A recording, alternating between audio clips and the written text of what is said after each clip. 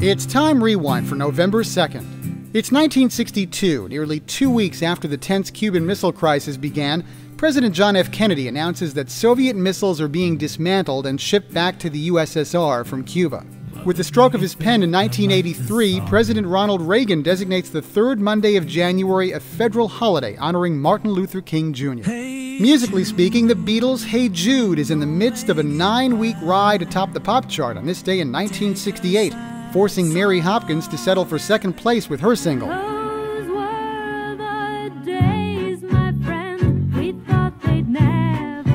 In 1974, Stevie Wonder reaches the top of the pop chart with this single. Born on this day, actors Burt Lancaster and David Schwimmer, Grammy winning singer songwriter k.d. lang, and rapper Nelly. That's Time Rewind. I'm David Mendel.